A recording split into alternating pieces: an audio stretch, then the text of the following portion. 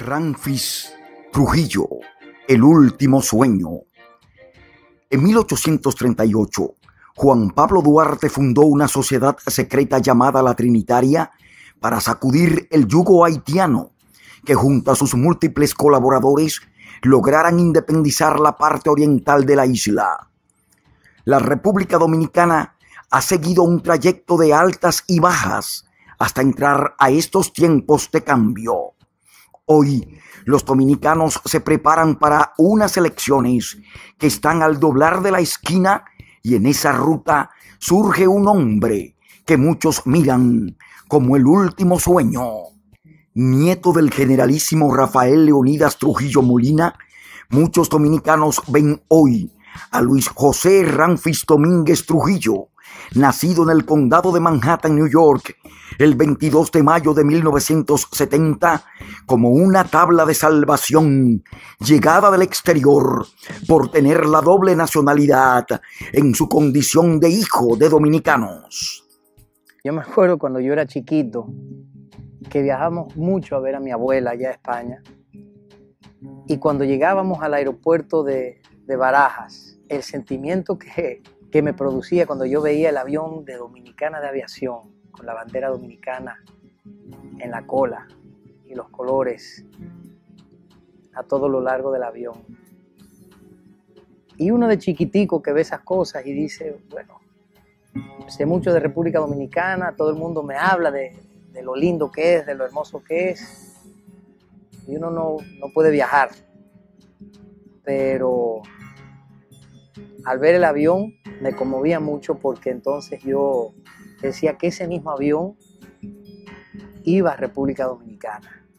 Y ahí los padres me buscaban, Ramfito, ven para acá, ¿qué tú haces? Y yo le decía, denme cinco minutos, papi, mami, que yo lo único que quiero ver es el avión despegando. Y cuando despegaba el avión, que yo lo veía ya entrando, escondiéndose por las nubes, yo decía, ese avión va para República Dominicana. Y yo sé que algún día yo voy a poder ir también. Una de las hijas, al hablar de su padre, dice, bueno, para mí siempre veo a mi papá en la misma luz. En casa y en la política es más relajado um, y más amoroso. Si tengo un día que no me está viendo bien, la primera persona que yo llamo es mi papá. Y siempre, siempre, siempre toma mi llamado. Siempre me dice que tienes que creer en Dios. Y siempre que necesitas que Dios te guía. Y me dice que tengo que rezar y después mirar el problema de como si yo fuera la otra persona y ver cómo resolver la problema la más diplomática que puedo. Eso, eso siempre, siempre con Dios y siempre con la diplomacia. En casa a la mañana, ¿verdad? Cuando se despiertan a Okay. tiempo. O por la noche cuando tú estás tocando el piano. También. Sí. Estamos cantando, sí. Cantando. Es verdad. Es verdad Cantando. cuando... Siempre estamos cantando, bailando, tocando música, poniendo música. Sí, sí. En principio se creía que la gran fortaleza de Ramfis Trujillo estaba solo en la diáspora dominicana en el exterior. La sociedad dominicana está dividida en dos con relación al tema.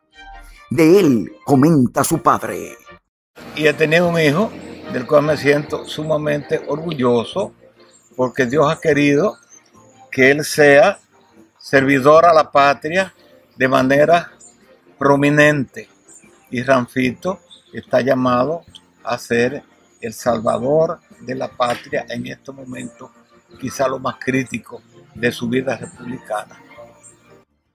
El proyecto Ramfis Domínguez Trujillo, que al principio parecía una quimera, fue tomando fuerza como una consecuencia directa de la frustración que siente el pueblo dominicano con la delincuencia política que lo ha gobernado durante toda su vida democrática después de la muerte de Rafael Leónidas Trujillo. El fenómeno Ramfis cuenta con la aprobación de una amplia parte de la sociedad, tanto juvenil como femenina. Siempre he dicho que mi formación política, ideológica, eh, nace de mi papá, porque verdaderamente desde chiquitico él era que hablaba de la República Dominicana, nos enseñaba libros, nos hablaba de cómo era el país, de todo lo que él veía, sobre todo como piloto que tenía la oportunidad de recorrer todo el territorio nacional y realmente las vivencias de él sirvieron para mí, eh, para yo formar mi propio, diría yo, eh, prácticamente un mapa dentro de la cabeza de, lo que era la República Dominicana y fortaleció esa, esa añoranza, ese deseo por, por conocer a mi país, que lo pude hacer gracias a Dios en el año 2000, pero más allá de eso fue la formación eh, ideológica, donde siempre me hablaba de, sus preceptos, de sus conceptos, eh, y es una persona que respeto muchísimo y para mí no hay mayor activo que yo pueda agradecer a Dios que poder hablar eh, con mi papá diariamente, cinco y seis veces,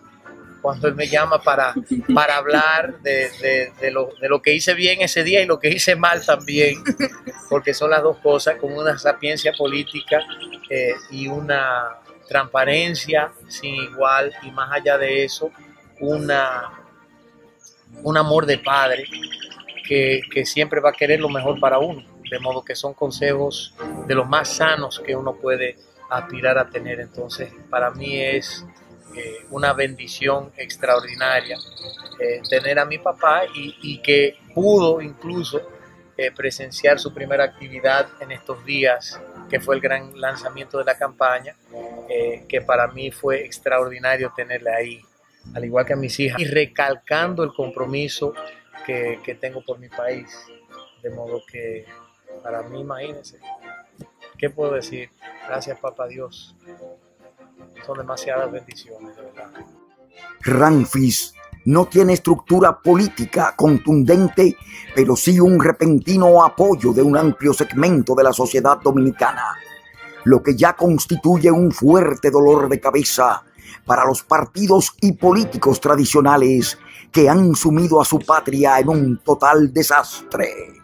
Solo el destino dirá cuál será el futuro de este hombre que buscando la presidencia de la patria de sus padres, se convierte en el último sueño de una generación acorralada. Bolívar Balcácer en CTV. El comentario de hoy con Bolívar Balcácer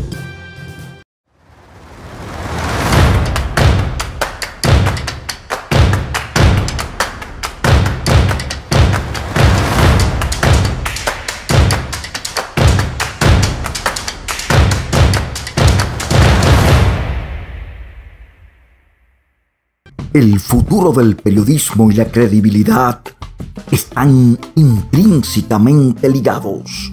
En una era en la que la información fluye rápidamente y se difunde por diversos medios, es fundamental que el periodismo se base en valores éticos y profesionales para ofrecer noticias veraces y contrastables.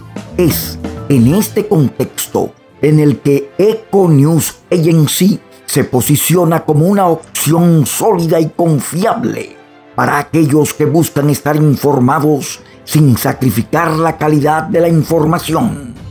En Eco News Agency nos enfocamos en ofrecer un periodismo real y sin vacas sagradas. Creemos que la honestidad y la transparencia son fundamentales para generar confianza en nuestros lectores y seguidores.